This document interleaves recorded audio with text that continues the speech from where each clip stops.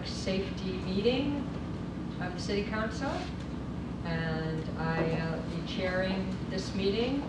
I'm City Councilor Maureen Carney. With me is City Councilor Dave Murphy and our our administrative assistant, uh, Pam. And uh, we have a presentation this evening from the fire department, so I will go ahead and turn it over to Chief Nichols. Thank you.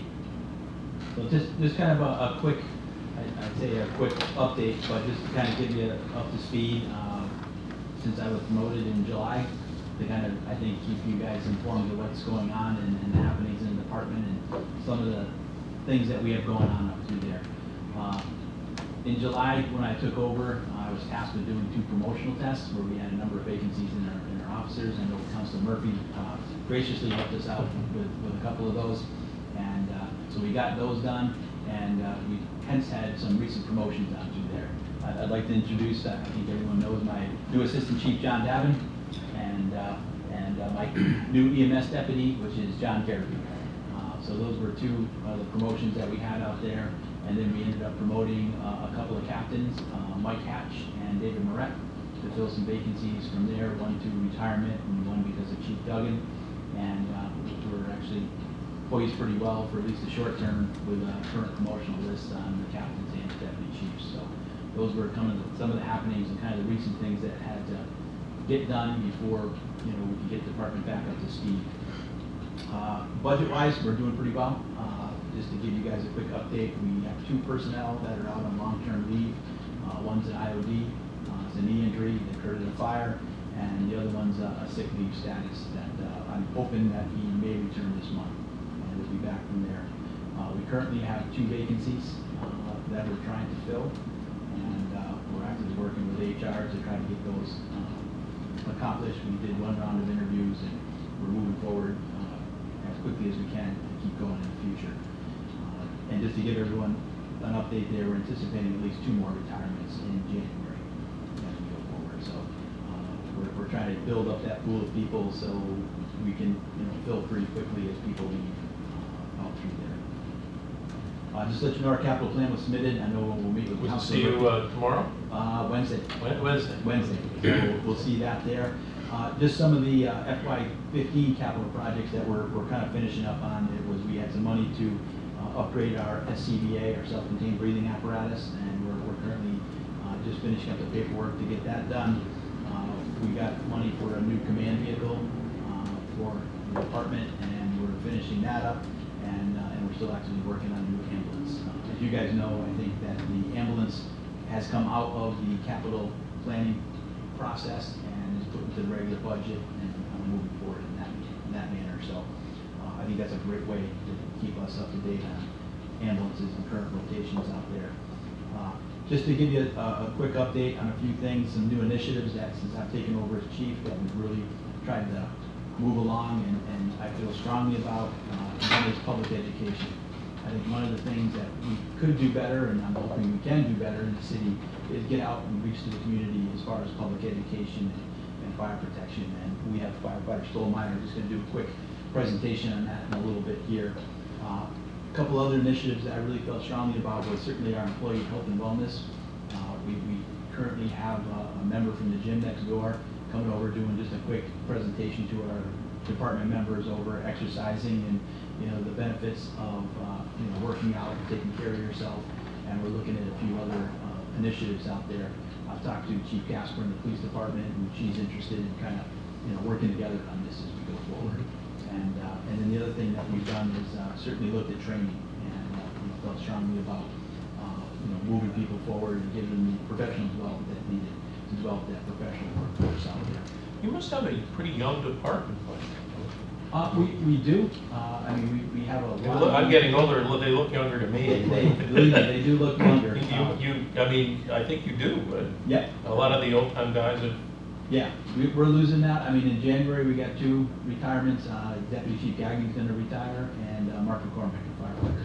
Uh, they'll be moving, moving on to retirement there, uh, every year goes by, I feel a little bit older as we go. But we do have a lot of, a good group of young people in there, and, uh, you know, it's, it's neat to work with them and, and see the enthusiasm and uh, the energy that they have as we go forward. I'm gonna turn it over to uh, Assistant Chief Davin just to talk about some of the operational things uh, that we have going on in the department, and uh, I'll let him. Sure, thanks, Chief. Uh, One of our major operations is, um, our current rescue truck is uh, early, is a late 1980s rescue truck. We're in the process of replacing that. Our new one has uh, been built by Pierce Fire Apparatus. Brought a picture of it. Um, It should be, we should be taking delivery within the next couple weeks. So we'll be replacing our old one, and that'll be our new rescue truck. It needs to come up to uh, Massachusetts, get lettered, and then once we get it, you know, we'll we'll put our equipment on it, and we've gotten rid of our old one, so they're gonna take that, and sell it for us. And We bought some new equipment also to to put on the new rescue, so we're, we're excited about that. We had a, a really strong committee. I think the firefighters have built a rescue that is within budget, and it's, it's practical. We've made it so that we can put a hitch on it and tow our boat, our hazmat trailer, uh, we've got backup cameras on it, um, a lot of lighting, you know, we get a lot of calls for accidents where we, we need to light up the scene and stuff, so we, I think we've done a really good job with that, so we're looking forward to grabbing that in a couple weeks. Uh, the chief spoke about some training initiatives. Um, all of our deputy chiefs now, including ones that will be promoted in the future, are now trained to the highest incident command level, which is ICS 400. So a couple of them just finished that uh, the last couple of months. Um, Also, we're looking at next year a new station alerting system, which is the, the system that turns on the lights and alerts us for calls. The current station alerting system is uh, original to the building, to the headquarters, so that was 1999. We're having some problems with it, and, you know, a lot of the problems, it it just, it's aging infrastructure. And we currently use uh, Verizon phone lines. So the phone lines go out to the Florence station, and that's where we have most of our problems. Uh, You know, the calls aren't getting out there, the tones aren't coming on, the lights aren't turning on. And we've traced that problem back to Verizon. And this new system that we're looking at is built by Purvis. It's an automated system, so it has a computer-aided uh, dispatch voice. And this system will run, the city has installed fiber into all the city buildings. So this new system, instead of paying Verizon monthly for their service and the copper backup service that we have to pay for, we can tie into the city fiber. So um, we're looking at a, a- a cost savings there. And also currently with our new, with our station alerting system now, the way it works, when a call comes in, every light in the state, in both stations turns on. And they're fluorescent lights. They turn on and they stay on for four minutes. Now, we average 22, 23 calls a day, so they're turning on that many times a day, and we go through a lot of light bulbs. So this new system will actually be the small LED lights that are gonna be mounted right on the speakers of the ceiling. So they're brighter, they use less energy, and we're not gonna be walking around and replacing light bulbs every Mhm. day. We, we go through a lot of light bulbs. So we're looking at a cost savings there. It's, uh, the, we'd be one of the first departments, actually, the only two I know of right now are Boston and Foxborough that use an automated dispatch system. So we're looking forward to that, and uh, we've got a committee working on that. We've got firefighters, uh, somebody from dispatch, and myself. So we've we've narrowed it down to one company, and we're just working on the specifics right now. As- What, what backs that up? Because that's going out on, on the loop. But what, I know, like Verizon, it goes out on copper and it goes out, um, you must have a T1 from them or something, right? Yes. Yes. So it goes out on T1, it goes out on copper. Yeah. What backs up the city loop? Because that would be vulnerable to the same stuff that, Mhm. you know, that Yeah, Verizon's you're talking as T1. far as the, ca- the, the fiber optic? Yeah, because you, yeah, because that, I We mean, have that's the hanging copper on. lines, the copper are. Are gonna- they redundant gonna stay? lines, Yes. Okay, so Yeah. you'd be on, Yeah. rather than Verizon, you'd be on the city loop. City loop and we have the copper. And the back- copper backup, copper like, just like you do now. And then the dispatch center can always override the system and we can just use our radios. They can dispatch over our mobile and portable radios too, so if we ever had to. And The problems we run into up in Florence, the lines actually go up to, ah, what street was it? Forget, but it- there's a vault up there in Florence. And every time we get a big storm or a lot of rain, it gets wet in there and that's where we run into problems. So, you know, we call Verizon, they come out, Um, You know, they, they fix it, but, you know, we, we need to upgrade that system. And now when the city already has the fiber optic, it only makes sense to piggyback on that and get rid of that, that Mhm. cost. Well, Same with the light bulbs. It- It's crazy that we, we're, we're so far With the current system, I- it's, this is a project we presented to David Pomeranz. It's- there's- Yeah, this came through capital improvements under Yeah. central services, so Yeah. we've already, Yeah. capital And, uh, improvements has already and heard just- this. Just for information, you know, the current system, basically, we can't get parts for anymore.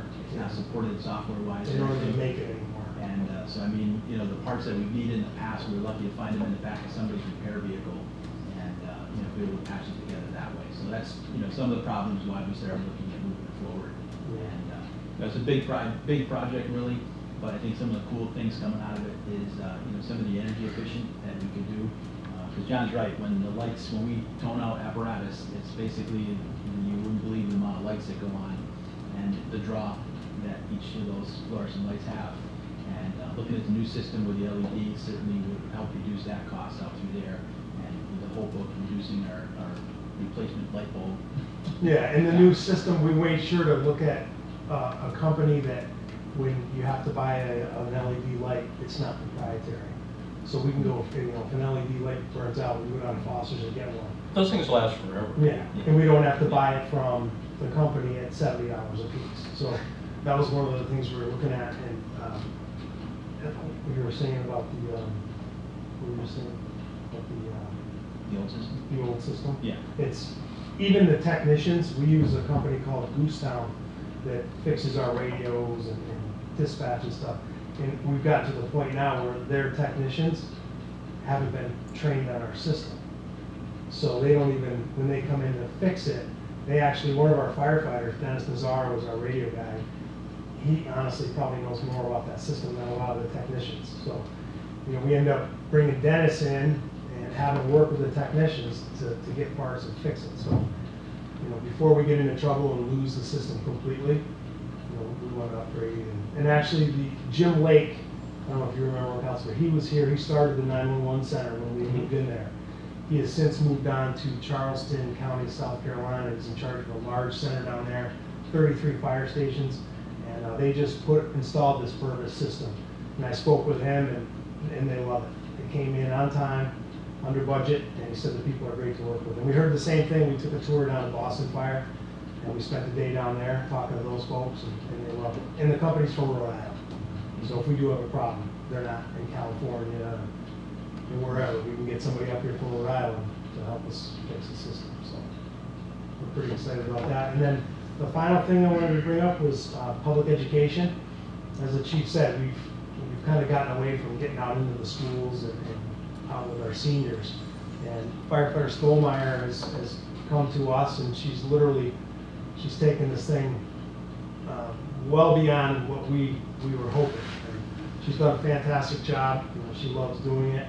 So we just had her put together a short little presentation of, you know, kind of her goals. You know, we, we sat down and discussed, you know, the chief where he wants to be and, w- you know, we haven't been in schools in a long time, honestly. We- We got away from it. You know, I don't know, for whatever reason, but we need to get back into the schools and we've got some stuff coming up with the seniors at the senior center. Um, So we're, we're, we're excited about that, so I'm gonna turn Great. it over to firefighter Fulmer. I'm Natalie. I've been uh, with the department for about seven years and a safe instructor for probably uh, four or five years. And um, I did a lot of things with that program. We did a lot of basic stuff like our safety village in the summer and a little couple kindergarten classes here and there and some tours. And a year ago, I took the educator class through the fire academy. That's a 40-hour class, and it basically is a crash course on how to teach kids. Um, so I can't really call myself a teacher. I wouldn't ever do that because that's kind of a profession that I, I, I respect more than to be able to call myself a, a teacher. I like to say educator, but in a sense, it gives us it gives me a kind of like an idea of what to expect when I'm putting programs together and teaching kids. Um, so right now, I'm going to tell you a little bit about the SAFE program, what it is. Uh, safety and fire education. It, it's compromised by it's comprised of two separate grants to equal about seven thousand dollars. Our senior safe grant is about fifteen hundred, and that money goes towards strict programs for seniors, so you can start to uh, teach things that have to do with obviously fire dangers, falls, um, hazardous smoking. Um, and that depends a lot on community partnerships. So, like uh, uh, David said, we're going into the senior center in a couple weeks, and um, that is one way that we're spending money by saying, hey, look, this is our winter preparedness for you guys. Like any of the seniors who attend the senior center events can stop by and talk to us about how to better prepare their home and themselves for that. Um, and then the school-based safe is your standard safe education. Originally started back in 1997 in the state of Massachusetts, and I think we've been running it in Northampton with the grant for, I think, 15 years. Um, I know Chief Nichols was originally a safe instructor as well. Um, so this is your school-age kids, anywhere from kindergarten or even pre-K to about 12, uh, 12th grade or your senior in high school. Um, and those are the same, uh, similar type of topics. You talk to them about fire safety. Um, smoking is the biggest thing. Um, the state of Massachusetts, statistics-wise, figures that most fires are due to um, smoking-related incidents. So careless disposal of cigarette or the tools used for smoking, such as lighters and matches. So they really geared this whole grant towards what are you particularly going to do in your city, in your department, to teach about uh, hazardous smoking. So that's a big one that we kind of only touch on a little bit so far. So I'm looking to create um, a standard curriculum um, to go into the public schools with that. Um, and that on the school-based side, school partnerships is a big thing that um, I'm looking to establish by the end of this year, I hope. And that um, basically means going to the school board, going to the administrators, um, and superintendent saying, hey, this is what we can do for you. This is the time that we have to spend with you. Um, we'll pick either um, third grade or kindergarten to start off. Um, and this is, you know, we're, we're giving ourselves to them basically, like, please let us come in and um, help us fulfill this program because it's not happening right now. Um, so just to touch on a little bit of the history, like I already mentioned, um, basically it's grant funded. Originally the money was taken out of the cigarette tax, uh, and now it comes out of the Executive Office of Public Safety. Um, and the Department of Fire Service helps initiate that grant um, by training us as instructors and by creating a lot of the curriculum themselves and letting us use it. So it's a really good resource for us. Um, in Northampton, uh, we've started the Senior Safe Grant two years ago. Um, and basically that was just going into the senior center. Um, maybe uh, this year we're planning on doing some CO and smoke detector installations and life safety inspections, which is a huge thing because we haven't, we've gotten away from going into um, senior homes and saying, this is who we are, the fire department, we're here to help you. And we'd like to help make it so your home is accident free. People should be safe where they live. Um, so that's a big goal for ours in this next coming year.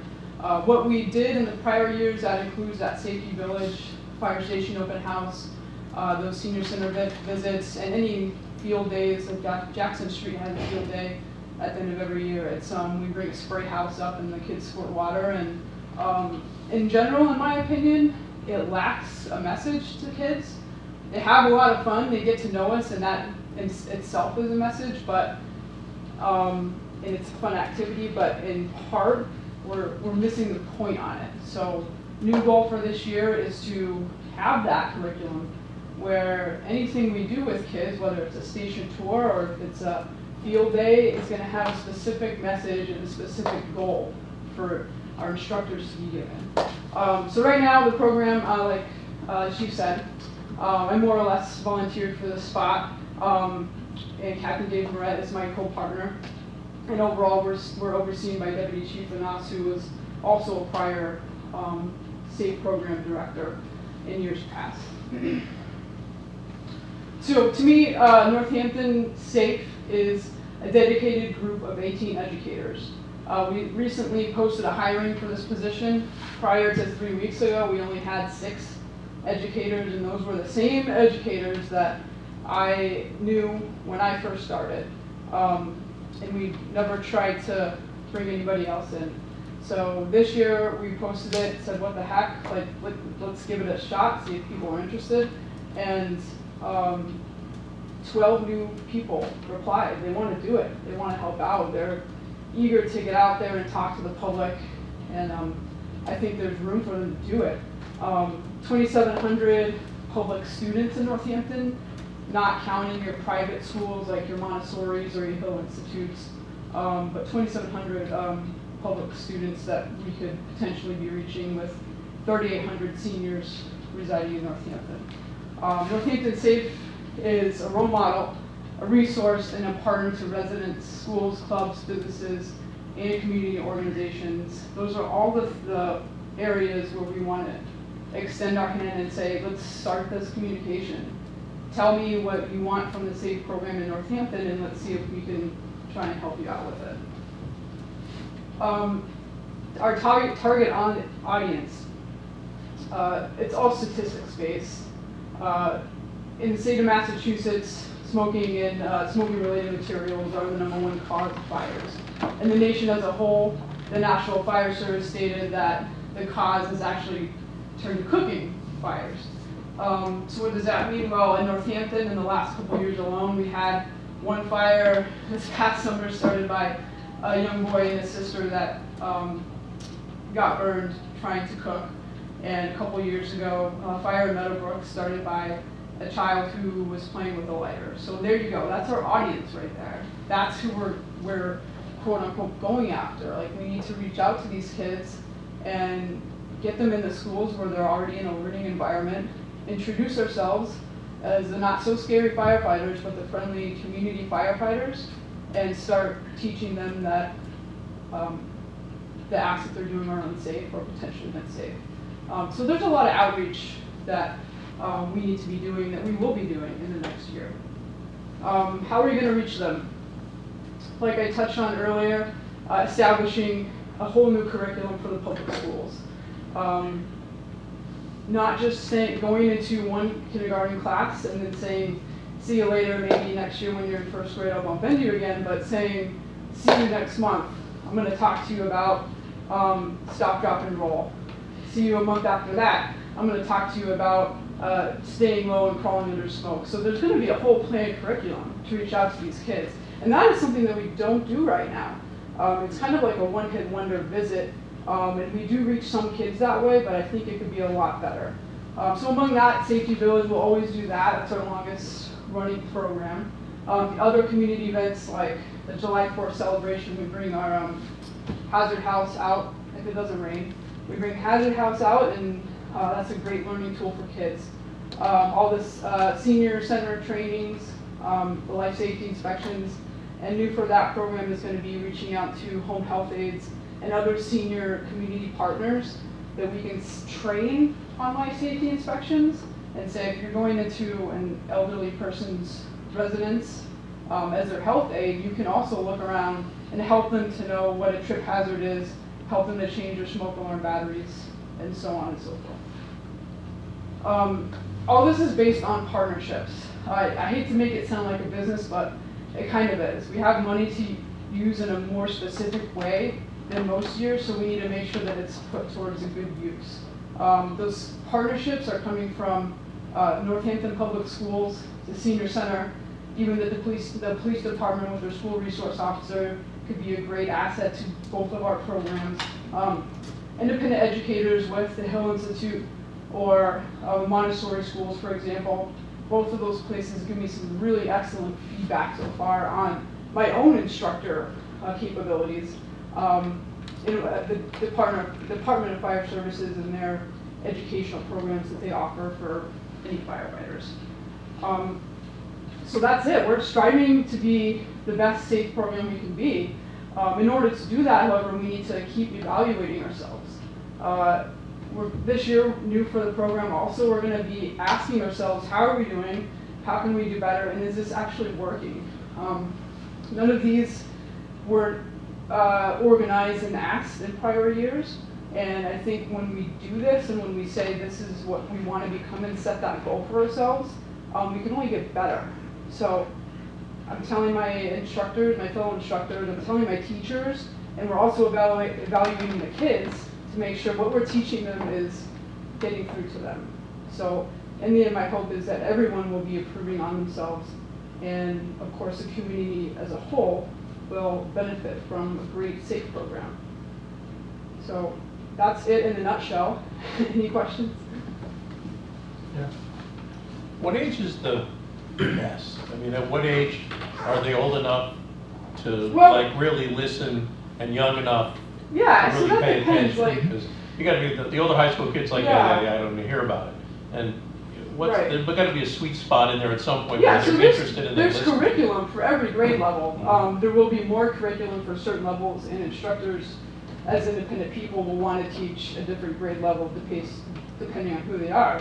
Um, statistics wise, coming from No, No Fires, the juvenile fire setting prevention program that, um, that's out there, says that a kid aged between, uh, I think it was eleven and uh, eight and 11 has the highest risk of starting fires. So right then and there, we can say, okay, let's target those ages between 8 and 11. Um, as far as actual listening capabilities, um, you need to be specific to who you're talking to. So obviously, each child in their age group has a different way of learning. Um, I find that they might find it easiest to teach to a kindergarten class, but you might only find them really learning something when they get to third grade. But that doesn't mean we can discount anything below them. They need to know who firefighters are, they need to know that we're not scary when we have all of our gear on, they need to know that we mean that we're safe, and the basics of it. Because, I mean, thank goodness, you know, growing up, we had more structure fires than, you know, and many of those got out of, hand, you know, Oh, yeah. yeah, th- so kids 25, 30 years ago Yeah. had more knowledge, of you know, they had friends whose houses burned out, you know, they, Yeah. now, I mean, thank goodness we don't have the fire, so these kids don't really have firsthand knowledge. Yeah, the fires are different. They are less and they're also different, you know? Um, kids are still the same in the sense that you're gonna have the ones that like to mess around and pull the pull stations. Mhm. And then you're gonna have the ones that like to hide and not exit their apartment building while the alarm is sounding. So fires today that might be contained to one apartment because of how efficient that building is, you might have kids not exiting their second or third floor apartments above them because they think it's a joke. So there's a lot of different areas you can reach out to these kids. And in the end, personally, what I'm searching for is for that moment where we have a scenario where a kid or a child was involved and they say, I learned this at school. They said um, to get out of the house, they said to have a meeting place. So this is why I did it. And they saved themselves and their family. Um, there are incidents like that that do happen across the state and the nation. And it's only, you know, a matter of implementing a few things here and there to kind of make sure we reach out to the biggest population we can. So, in a nutshell, safe program. Awesome. Well, Thank you, Natalie. You're welcome. I think it- it's just one of the initiatives as I, as I took the job that, you know, we do get a grant, that's about seven thousand dollars from the state every year and, and kind of challenge, I think, my people of how can we better utilize it? And um, pleasantly surprised and pleased that we've had a, a- as Natalie stated, a number of people, I twelve additional people that are interested in helping out and getting the word out. Uh, From kind of our standpoint, from the fire side, is, prevention is the best method. Uh, If we can prevent the fire, it's better than trying to put it out. And uh, the goal is to try to get out into the community and, you know, provide some education out there. And, you know, hopefully do some good things and give some kids, and, you know, we're also looking to target some seniors, some information that hopefully will make them safe and keep them well. Because I don't want to go to a structure fire, uh, I'd rather prevent it.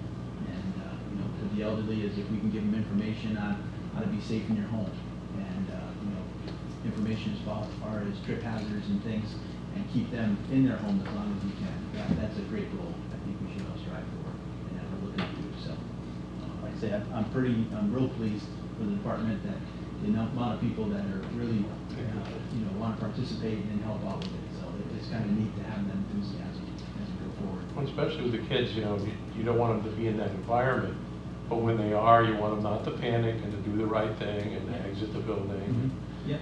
Kind of figure out if, you know, is everybody out, so they can, when you guys are, out, they can report to you and say, hey, Yeah. grandma's missing, or, Yep. you know, know, that kind of thing. Exactly. You can act on, Exactly. on good information. Yeah, so I, thi- I think we, we got at least some, some good groundwork moving, and then I'm hoping that we can continue that and, and get out into the community and present that up and out. Yeah, I think the interest in our department has probably a lot to do with Natalie. And, mm-hmm. you know, she's, they know it's gonna be organized and, and there's gonna be a plan. Mm-hmm. She hit on that, as we were kind of this one-hit wonder where we come in and overwhelm the kids with the trucks and all the cool gear and stuff. And I think she has an actual plan of, yeah, that's fun. But let's- follow up, like follow see in two years, see in two years. Yeah, and I think, you know, that's the reason that our other firefighters want to get involved. They know it's gonna be organized, it's gonna be run well, and, you know, they're gonna make a difference and not just show up and bring the truck up and let us spray some water and and go home, so. And I think it's a testament to, to these folks. Yeah, I mean, the cool thing is, you know, we, it's, as Natalie says, we get the message out. I think that's kind of the the mantra moving forward. Let's get the information out there, and I think we can do, I know we can do some good stuff. Maybe you can do some recruiting too, you know? And Might a kid who wants to grow, any go to fire service. Yeah, Yeah. we would love to. What happens, you know? Yeah. like- Yeah, they find it interesting and, Yeah, we actually have a meeting tomorrow with the high school as far as internships and Yeah, stuff like that, so. yeah. I mean, we, we've done well in the past, but I, I think it's, I'm excited that, you know, we've got a great group. Natalie's kind of leading the charge, that I think we can do more. And we've heard rumors that Smith Voc is gonna maybe run an EMT program mhm. to get kids certified as EMTs, which for us would be, well, it's great for them too, because a lot of those kids are Hilltown kids. yeah. And it's, you know, response time up there is slower, so having more people up there with medical skills to be first responders and get people stable before they get transported. Yeah, if And we can that's- grab a couple of those kids and kind of get them interested. Mhm. Yeah. The, that's one area where the medical thing has really helped you guys out, because you get a, a- a more well-rounded person interested in fire service, because they got more to do, more to learn. Yeah. Yeah. It's, it's interesting, I did, I, Jody and I actually met with the uh, president of Greenfield Community College, you know, because we're both alumni. Mhm. But in talking about how they could better their program, uh, an aspect was in their paramedic program, they, after talking to them was, you know, kids come in the door and are looking, all right, I wanna be a paramedic, and, and then they try to give them some career direction, and it's like, well, you know, I wanna be a firefighter paramedic, but they don't have any background in it, and, you know, for whatever reason, they, they can't get in a volunteer department and things like that. So they're, they're like, how do we, how do we kind of at least give them that? Is this something that they're interested in? They're really interested about putting a component into their paramedic program where we actually would put them in turnout gear and an SCBA and use some simulated smoke and, you know, give them some tasks to do. And say, this, is this really what you want to do? So they're really interested, and I know Jody had on the police side some real good initiatives to, you know, give them some information to say, is this what you want to really do and the direction you want to go? Uh, So it's kind of neat that I think we got some, some neat, interesting, hopefully partnerships building out. And it's nice too that both for you and Jody, you know, their students can, can see that the Yeah. alumni from that program Yeah, actually not only became involved in each field, but actually are running departments. yeah, You know, that this is real education, it's valuable, it could lead to a job and a really good career yep, if you follow through. yeah. And that, and that was, they, they were big on that. And I kind of, I, I didn't see it, but as they explained to me up there, that was. Well, yeah, the kids are gonna say, hey, you know, this isn't just theoretical. Yeah. You know, these guys started here and So I, I kind of joked with them, I said, they could put Jody and I on the billboard on ninety-one, and see what that's along. What happened? I I said, no, I'm only kidding on that, so. So, so moving on there, uh, I'll have uh, Deputy Garrity, uh, give a quick EMS update. Uh, he's, he's, he came into the office where Chris Norris, uh, elected to go back out on shift. Uh, So with, with seniority, he was able to do that, so he's actually a shift deputy chief for us right now. Oh. And, uh, you know, John passed the promotional test, and topped it, and, uh, he's always been involved in EMS, and was a great choice for us to bring him Mhm. and, uh, overtake the program. And uh, just a few things that we can kind of update you on where we are. Yep. So, uh, came into this, I guess at a, a different point. Um, we'll go over the statistics in a minute here I have for you, but, so, uh, one of the first things that happened when I came in was the request for proposal for a new billing company. And that was actually the middle of my first week of orientation. Well, we use Coastal Medical Billing right now. And the RFPs came in, and this Comstar company that does billing, very reputable company, we checked them all was, uh, originally coastal was three percent, they came in at two point nine five. So based on, um, you know, procurement laws, and everything else, we had to change that, so, um, sounds easy, but not at all. So I really spent up until last week, it took me about four weeks of Medicare, everybody's got a different number, all the insurance company, it, it's, it's, I wanna say it's been a nightmare, but it's been a nightmare. The- There was a couple of days where I actually said to the chief, well, if you weren't the chief right now, I said I'd be going nuts, because he's a great, he supports me hundred percent there, which is exciting. So the good news is, when we go over statistics, I'll show you on the back page, and you're probably looking at it right now, where our month of October has dived. Um, we, the mayor's aware of it, um, and what's gonna happen is, because of, we stopped billing with Coms, uh, with coastal medical billing October first. We, I just recently in the last, today and last week, really started pumping out the bill. So we had two hundred and sixty-five calls that had built up, that hadn't gone anywhere in three weeks.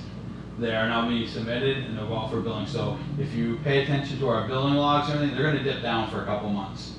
The good news is, it's this time in the year, we'll have time to recover, get the money back in before the end of the fiscal year, and at the end of the year, you sh- you'll see, you'll see a di- dip in revenue, but it'll equal out at the end, so that's the plan. So that's the good news, and everybody's been uh, made aware of that, Susan Wright, everybody, so, and everybody's on board with it, so. So John had, John had quite the task, as he says, it, it seems easy to switch a billing company, but where we deal with so many insurance companies and, you know, we have ID numbers and they have ID numbers, we had to get all that information transferred over to the new company, and, and then go through basically the contract and make sure we secured everything up and out, so.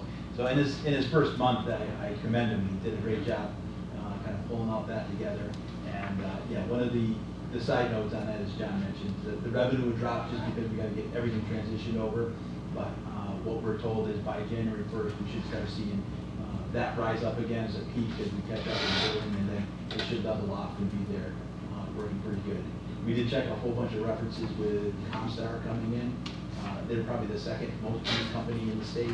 And I checked with a number of fire chiefs out there who use them, and everybody had good things to say about them. So I think, you know, going out to bid and stuff, you know, we- they came in, you know, 0.05 percent less, but, you know, it's still a value to the city that will bring in a little extra revenue with that aspect of it. So, John, I, I say thank him for, uh, you know, getting all done, but as I tell him, he's got it under his belt now, so he's, it's old news and easy, easy habits now as we go. So not, not being one thing by itself, the other thing that happened is, uh, we got a state ambulance inspection. So again, two weeks into the job, I had the the ambulance inspector actually showed up while I was out one day, and, uh, I think spoke with Chief Nichols or somebody and said, hey, can you give him a break? He's only been here two weeks, He- can you make an appointment, we'll come on next week? So Phil Bonahue, I've known for years, uh, I've been involved in EMS since the beginning, so originally when we licensed the ambulance, I dealt with him, so he knew me, and and uh, we made, uh, we pushed it off a week, uh, and he came in and we passed. And I, I'm not taking the credit at all for that. Uh, The crews uh, out there, um, Assistant Chief Davin sent an email out to everybody on shift, explaining the predicament where I was in with the, the billing, and um, asked everybody to pitch in, and the, from the firefighters to the officers and everybody, they, each, everybody took an ambulance, and each crew stepped up, and I didn't have to touch a single ambulance out there. So I want to first off thank them publicly, and I thank them myself plenty of times, because they, they really saved my butt with everything else I was doing. So all I had to concentrate on was the administrative side of the inspection, where they come in and they check uh, training records, and so we were able to pull it off in a very short time. I had about a week's notice, and uh, it was excellent. And I- like I said, I'm not taking credit at all for that. That was the crews up they did a great, great job. So uh, that being said, I will, you have our, our, we call our dashboard is our statistics that we run. Uh, And the big one on the back, as you can see, the uh, monthly trending, how October took a dive on that la- uh, lower right-hand corner. So that'll just give you an idea, um, what we, we expected that, and that's what, it did come true. Um, Upper left-hand corner, an overview of our calls. Um, It's surprising that we're uh, fifty-one percent advanced life support and uh, forty-nine percent uh, basic life support.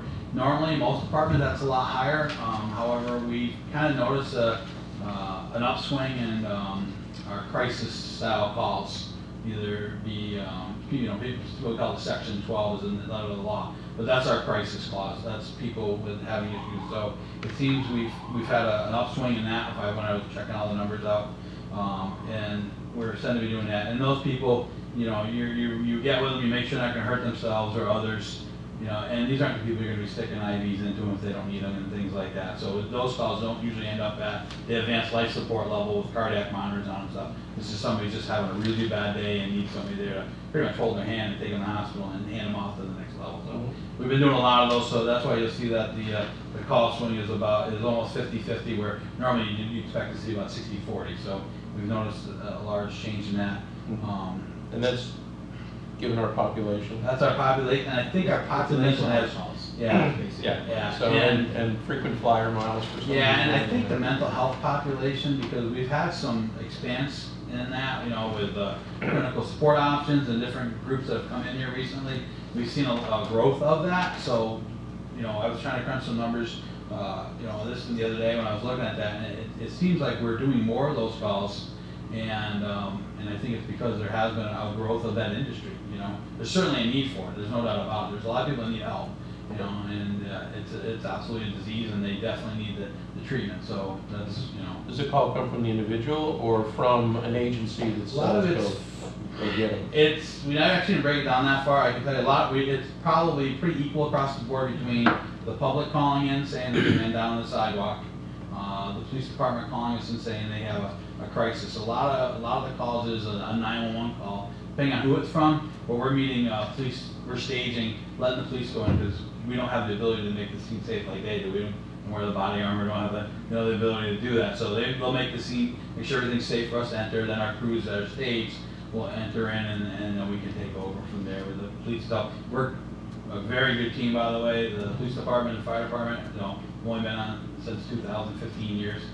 I've never seen us get along the, the fantastic right now, so it's great, I mean, so it's nice, we're working as a giant team out there. Um, Couple things I did want to, uh, first page, lower right-hand corner, um, it- it's called ETPS, uh, it's our endotracheal intubations, where we put the breathing tube in. This is a huge statistic for us because this is a skill they've been talking about paramedics can't do with any kind of, you know, we say, oh, it's a, a physician has to do this, you know, medics miss all time. We, we only, we did eight cardiac arrests, uh, so far, uh, this month, and, uh, every one of them has been a perfect tube, so we're doing really well on that. And then our IV success rate, again, is, we're at seventy-four percent, we're above the national average, so our, our folks that are doing these skills out there, I mean, I'm, I always say they're the best, but I got the numbers on to prove it, these people are fantastic, and, uh, you know, I want anyone can take care of me and my family, so, and it's nice to be able to pull these statistics up and, sh- and show that.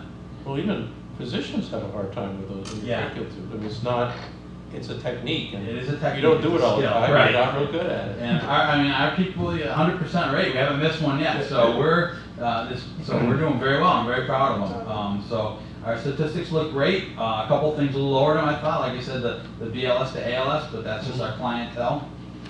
But the skills that we are performing on the advanced life support level are, are right there, are actually above national averages, so we're doing really well there. And our on-scene times are looking really good, so, uh, overall, uh, the service is running good.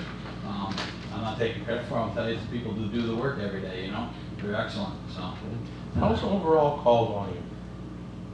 Because there was, there's a, we used to have a three-page dashboard thing that did I could do call that for volume. you, yeah. And also, um, tracking, you know, So the, seven days, time of day. Yeah. I remember Tuesday at one o'clock used to be a killer for some reason. and it moved to Wednesday now. Moved to- So, I don't know actually gonna break it down that far, I can, but it did move to Wednesdays at two o'clock. And Wednesdays Uh, at two. Yeah, so now it's moved to Wednesday, which you would think is crazy, right? Why would you do a Yeah, Friday night or everybody's at Saturday night? work, everybody's at work, you Yeah. know, they- Um, why are they out crashing into things or having heart I, attacks? I started working in Springfield, uh, and the ambulance is down there, and every, I used to, you know, pick up Friday nights and Saturday nights, and think that would be the busiest, and it was busy for a certain call, the, the, the intoxicated young male under thirty, uh, was that call, but the, um, the cardiac arrest or anything? no, they were actually, during the daytime, when people were more active, and that's when you get that call, or the other, and I hate to say the other one is where, you know, grandma or grandpa wakes up and,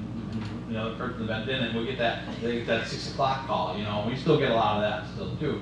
Um, so, and, hey, well, you know, that's the way to go in your sleep at night, so, hey, you know, it's not so bad, right? So, but yeah, um, but other than that, it, when you see the, see, like you said, you were saying Tuesday, we're on a Wednesday, it's like, In the middle of the day, Middle of the day. Wednesday, yeah. what gives you that? It's not just a little bit, it's a spike. Yes. You know, and, and you look at that, I could have printed that one Friday, I printed that, I'm like, holy cow, why would you think that, you know? But, yeah, that was that third page, so. But other than that, everything very good. Uh, like I said, you got the best people working for you down here, so, Mhm. you know, I makes think, my I life think one of the, the cool things is when uh, Jody and I were up to greet the community, and we were talking about, you know, just EMS response in the city. Uh, I would beg to ask, is there any other community that gets the response uh, that you would get in Northampton? Uh, I mean, you think about, you got patrol officers on patrol that are carrying AEDs and, you know, no CPR, first aid. We got ambulances, you know, Florence, downtown, and depending on the level of call and and type of call, you could get an ambulance uh, and an engine crew to help you out there. I know with CPR right now, what they're teaching it is basically it's a team approach. Uh, Basically, you need a group of people, and I think the number is like six. Yep. uh, You know, that, to be able to effectively really handle a cardiac arrest. And we're putting those people on scene, uh, you know, under five minutes. We'll get someone to their side, usually within two to three minutes, Mhm. and then, you know, the rest of the crew there right after that, so. But but for that and stroke, Yep, yeah, survivability increases tremendously with response time. yep. You're there in a couple of minutes, I you're think, gonna I have think good a- results. A cool call that we had was, uh, we had a, a lady hit, she was driving a motorcycle. Yeah, I was on. Up on, uh, North King Street, Yeah. and she got hit through there, basically, pretty much, I say amputated the leg, Mhm. but you had a police officer put a tourniquet on, we had three medics on scene starting, uh, procedures on them and uh, interventions, and you and I ran the, the times, uh, from when we loaded her to the time that we backed into Baystate was thirty-three minutes. It's the time of nine-one-one call, the base take thirty-two minutes, two-minute response, eleven minutes on scene. That's, you know, tourniquets, IVs, boards. Transport. Transport, and that base take thirty-two minutes later in the, in the trauma center. And, and I just thought that was phenomenal, you know, it was there, it was late afternoon, so we were hitting some traffic coming out, hitting some traffic on ninety-one. Uh, but that individual, uh, was in a trauma center, you know, within thirty-five minutes, basically seeking, seeking the care that they Yeah. need, so. half the time the golden hours, what they call it. Yeah. And again, that's a perfect example where, uh, police officer on scene, they wear, they call it, it's called a, it's like a big elastic band. Mhm. It's called a SWAT tourniquet, SWAT T, it's, it's, uh, stretch wrap and tuck type tourniquet. They pretty much carry it for their own, if they got shot or something, they can take care of themselves. And this police officer, and I don't even know her name, she's so new in the department, so I apologize for that. Got on scene first, pulled out her own breastplate out of her bulletproof vest, and had placed that on the patient prior to our arrival. Fantastic, it was still leaking a little bit, uh, and we threw our next, our tourniquet right on top, and sometimes it does take multiple tourniquets. And, uh, tightened that up, and like I said, we were, from the time we arrived on scene, jumping out of those vehicles, but she was down the road at Baystate, you know? You know, we're talking pain, tons of pain medication on board, two large bore IVs, needles for fluid replacement, package boarded and gone, uh, was eleven minutes. When you're doing the call, it felt like forever, I will tell you that, because I was one of the ones right there diving in, and see, I was like, all right, we gotta hurry, we gotta hurry, and then after when we reviewed the Check call. the time. Check the times, because dispatch has all our times, uh, and I was like, oh, that was, you know, as long as, you know, it felt like time was slowing down, and it was taking forever. Eleven minutes, that's, that's pretty good, so I was, Mhm. I can't complain, so, and, um, she ended, unfortunately did lose a leg, there was nothing left of it, but, uh, they didn't reattach, but, uh, she, she did survive, and she's, you know, she'll be, you know, I'll across that, walk around today, because of these guys, so, Mhm. yeah. Right. And again, the same thing, police has a really young department now. Yep. Yeah, So, and, and I don't think that, I don't think that is a bad thing, because Yeah. youth enthusiasm and stamina and Uh, desire to go out and work, and That can go a long way. it goes a long, long way. It goes a Uh, long, long way. A good chunk of them are actually EMTs, um, Uh, the police officers, right? Yeah, and under the new, um, what the state did is changed all our cards last year to Mhm. make us national registry. You have to affiliate with somebody. Well, you have to affiliate with an ambulance service, so in order for them to maintain their EMTs, they're actually affiliated with us. I over, I oversee all their EMS training, make sure that they're getting it and Oh, to like keep that. their EMT, Yeah, continuing it up and, and uh, it- they've been great, they, you know, they pretty much put their own stuff in, and I have to authorize it at the end when they go to renew. But a- again, it's, it's that next level where, you know, I remember coming in two thousand, getting, and I, they put an EMT patch on my shirt. I was one of the first ones to ever do it. Love the story, because I, and I got screamed at, what are you doing with that? You know, some old guys, because back then, they didn't even want the ADs on the trucks. And, uh, I think to myself, boy, if some of those guys could see this department today, their heads would snap off, you know, and, and it, it really is. It's, come a long way. it's what the fire service is really about nowadays, it's, you know, it's a good chunk of our call volume, and it's the right thing to do, you know? Uh, I mean, with structure fires going down, Yeah, Yeah. and, and that's a good thing. I mean, you still gotta be there to deal with them, yeah, but on a daily basis. And it gets you out in the community, you interface with more people, absolutely.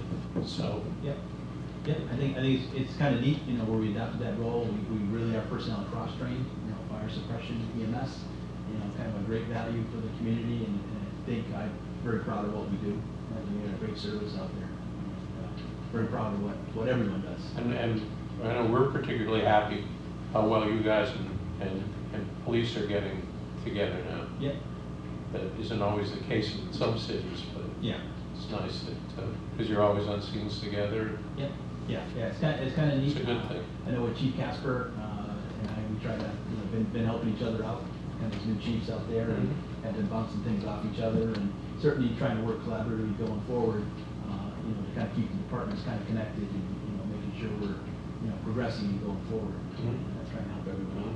I mean, one thing that makes this city stand out in the valley is that we're safe. Yeah, You know, people are safe on the streets, thanks to the police department, people are safe if something happens, thanks to you guys for ambulance response, and I think that's unique as you come up the valley, when you get here, you know, the public is, is safe in Northampton. yeah, Can't, that's number one quality of life issue, are we safe? yeah, absolutely, And at this day and age, that's huge. Mhm. So, That's, that's all we have. Any other questions? No, I've been sort of freelance. Okay. Well, I guess if that's it, we're gonna, uh, let's see, we are dispensing with the approval of the minutes since there are only two of us here and no quorum. So I guess I'll ask if there's a motion to adjourn. So moved. Second? I guess I can second. Yeah. Aye. Got it.